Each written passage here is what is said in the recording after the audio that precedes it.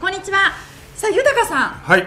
西武。はい。そしてオリックスの人的保障なあいつも思うけどさ、はやっぱ辛いよな。人的保障で動く人っていうのは。まあ確かに森もはい。動いて誰か動くんだろうなっていう辛い思いをお互いがしてるというね申し訳ないなっていう気持ちももちろん残ってると思うしね。はい。まあただその人的保障っていうのはあこの人がいいってリストからね。はいこういう喜んで、うん。えー選ばれてるわけだから、はい。だからまあ活躍してほしいなっていうふうに思うけどね。はい、はい。でじゃあオリックスからどの選手を西武はもらうのかとはい。思っていたところ、はい。えー、28歳の張躍投手を獲得したということで、陽大館はどこ行ったんだ陽大館選手はあれ？ちょっと分かんないけどな台湾？台湾に戻ったのかね。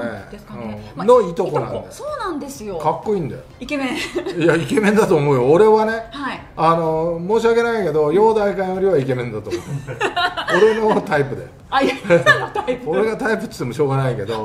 まあそうですけど、まあまあ陽大館は野手で。そうです。まあ、ピッチャーだよな。ピッチャーなんですよね、はい。右腕ということで、はい。えー福岡第一高校から、うん。えーにに日本経済大学、はい。そして、えー2016年に育成のドラフト1位でオリックスに入団したんですけれども、まあ、今シーズンは、えー中継ぎとして15試合に登板、まあ、勝敗なしの防御率2.38、はい、まああのー長役がはい。入団した時に、オリックスの関係者に聞いたんだけども、はい。い、やーいい素材なんですよって、あのーすごく化けるっていうか、はい。まあ、その当時も力のあるボールはもちろん持ってたんだけども、あのーいやこれ順調に伸びてくれたら非常に柱になるぐらいのはい。ピッチャーですよっていうふうに言われてたんだけど、まあ、なかなかな周りがやっぱオリックスっていうのは激しくいいからさ。はい。まあ、それと比べるとちょっと落ちるかもわからないけども、まあ、だけどまっすぐの勢いだとか、はい。言えばちょっと難点はあのー少しボールが荒れるということとやっぱフォークも精度が悪いということ、はい。まあ、ここさえ直ってくれれば非常にあのー西武としたらはい。力になれるよね、西武にはね。そう。ですよね。でなぜ跳躍を取ったかというそうですよ。やっぱ平がねはい。中継ぎ嫌だと。まあそうですね先発俺はやんねえと。はい。ふざけんなと。それは言まあ、そこまで言ってない、え えそこまで言って。ないあのやっぱりこう夢なんだろうね、うんやっぱりピッチャーとして先発は綺麗なマウンドを踏みたいというね、はい。まあ、平の気持ちも分かるしね、で4年間やったと、もう毎年言ってたんだけどもう今回だけは我慢できぬと。はい。いうことで、まあ、西武も了承して、ん。あの先発に来年から先発の、はい。おそらくローテーションに入ると思うんだけども、まあ、そこで1枠はい。誰をするか中継ぎをね、はいまあ、平の代わりっていうのはなかなかいないかもわからないけどもでもまあ長役っていうのははい。ま、っすぐの力っていうのもそこそこあるし、はい。まあ、結局精度とまとまりなんだよね、うん。まあ、まとまりと精度っていうのは同じかもわからないけどもあのそこら辺がしっかりしていけば、はい。十分活躍は俺はできると思うけどね。だこれ平投手がその先発でなくこのまま中継ぎっていうことを契約の時に言っていれば野手を取ってたかもしれないっていうまあ、可能性はあるよね。あうん、可能性はあるし、まあ、だけど、やっぱチームを編成していく上で、い。やっぱ中継ぎが1人足りなくなる、いなくなるっていうことを考えると、はい。まあ、リストの中からから長役というね、はい。名前が出てきたんだとは思うけどもね、はい。うん、だけど、いい選手を俺は取ったと思うよ、うん。まだ28歳でしょ。そうですそうです。精神的にも落ち着くよううん。な頃だしね、だから活躍っていうのは、なんとなくきっかけさきっかけさえつかめば、、はいけるような気はするけどね。そうですよね、で台湾の代表にも選ばれてはい。る選手ですし、なんか西武というとやっぱりその台湾だったりとかのピッチャーとかなんかそういうのも、まあ、私の時代なんですまあいやでも、ウー・ネンティンとかね、はい今も。まああのいるし、はい。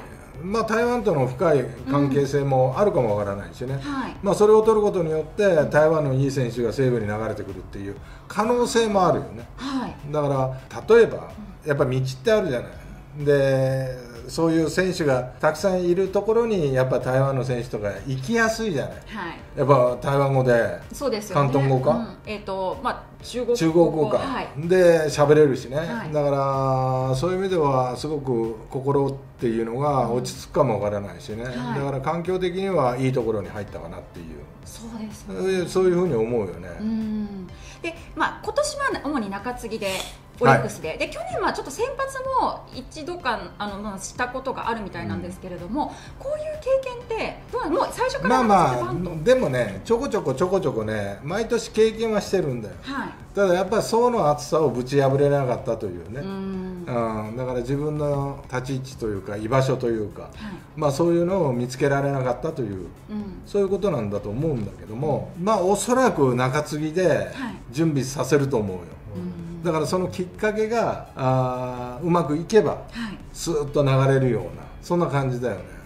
だから陽大館の性格、まあ、跳躍っていうのはあまり見てないからわからないけど、はい、陽大館の、まあ、いとこだよね、はい、陽大館を見てると、まあ、例えば春先パンパンパンパンパンと打てば、うん、なんかそのシーズンっていうのはスーッとそのままの成績で流れた。でも最初取っかかりが悪いと、うん、もう七点抜刀してさ、はい、なんかこう成績が、うん、そう空回りというかね、はい、成績が上がらないということがあったんだけども、まあ、似てるとすれば、はい、やっぱ取っかかりっていうのは大事だなと思う。だから使うタイミングだとかさ、はい、ものすごく楽なところでオープン戦でも、もう頭から、うんうん、下位打線から。はい、えー、そういうところでパンパンときっかけをつかんでこう加速させていくといいのかなって使い方をすればね、はい。うん、いいのかなっていうふうには思うけどね、うん、だからまあ取っかかり大事だな。そうです、ね、でましてやこういうような人的保障で突然チームが変わる、で準備期間もない。今活動もしてない、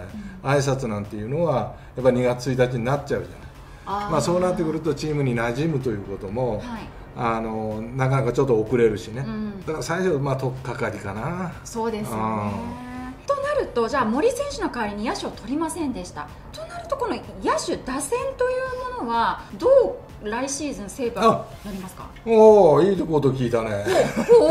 いやいや若林が、はい、おそらく今年まあ膝の怪我から怪我から復帰したんだけども、はい。まあ、なんとなくその怪我前のパフォーマンスは出せなかった、うん、でもこのオフおそらくしっかり仕上げてくると思うし、はい、まあ、阪神からヨーカーというのも一応戦力として、まあ、一応じゃないな戦力としてやっぱ考えられる選手を取ったよ、うん、だからまあそこら辺の期待度っていうのは俺は大きいんだと思うけどね。じゃあそこ心配しなくてもカバーできそうな感じっていうのは兆しというのは？いや俺はあると思うよ、うん、じゃあ3番ってどうなるんですかね？3番、はい、打順。打 打順の、はい、いやあそこは誰が3番打っても打てるような人はいるよ、うんはい、まあ、ちょっと薄いけどね。森が抜けた分だけ、うん、だけど、まあ、例えば、まあ、若林が状態が良ければ1番に入り2番源田みたいなさ、はい、1、2番で組んで、まあ、殿崎が入ってもいいよね。あ3番に。とかねとか入ったっていいし、はい、あとはその、まあ、愛斗っていうのが非常に成長したしね、はい、だからまあここら辺をどこに置くのかとか、うん、だからなんていうのかな松井和夫監督というのは、そんなホームランというよりも、やっぱこう動かして点を取ったりだとかホームランを打つバッターはもう本当に山川と、もう一人誰かでいいぐらいに考えてて、あとはやっぱこう若林の足とか、まあそういうのを使おうと思ってると思うよ。源田の足とかね。ちょっとまた西武の戦い方というかイメージがちょっと変わってきそうなやっぱ変わると思うよ。やっぱ変わらないと、いやそれはそれこそ苦しいと思うよいや戦い方どうしますかって。それはやっぱこう不安になるように。まあだけど俺はやっぱ松井稼頭っていうのは長打も打てたし、足も使えたし、まあ、守備もうまかったし。だからそのどれを連動さしながら勝負していくのかっていうのは考えてるはずだよね、はい。うん、今年は山川がホームランを打った時には勝つ、えー打たなかった時には負けるとかね、はい、まあ、ちょっと点を取るのには大味な野球だったけども、まあ、来年からはおそらく細かい野球に多分なってくると思うよ。まあ、そこに選手がついてこなきゃいけないけどね、はい、だから森が抜けたあ、まあ、そこの1枚が抜けるっていうのは非常にクリーンアップというのは手薄になるかもわからないけどもそこを外国人で埋めるのか、はい、まあ、殿崎なのか、うん、まあ、そういうところだと思うけどね。うんあとキャッチャーももちろん森選手が抜けたので。まあね古賀とか柘植とかそうだな。まあちょっと経験不足かなっていうところはあるにしても、はい、まあでもそれはやるしかないからね。そうですね、うん、ただ経験があれば怖さも知るし経験がなければ怖さ分からないで大胆にいくかも分からないし、はい、その大胆さがプラスに作用する時もあるしね。だからこれはどっちに転ぶかわからないけどもまあでも西武は新しい西武になると思うそれはすごい楽しみですね、うん、だから三振しても OK じゃなくてお前なんとかしろよみたいなそういう野球にはなってくると思う。うん、だからまあ楽しみではあるけどね。そうですね、はい、まあ、今回の人的保障で、えー、超躍投手を、はい、オリックスから取ったというところ、はい、プラス来シーズンちょっと西武の戦い方も変わってよりスピードに変ってくると思う、うん、なってくる、そのあたりもピッチャーもそうですし野手もそうですしちょっと楽しみに注目してですね、まあ、そうだね。はい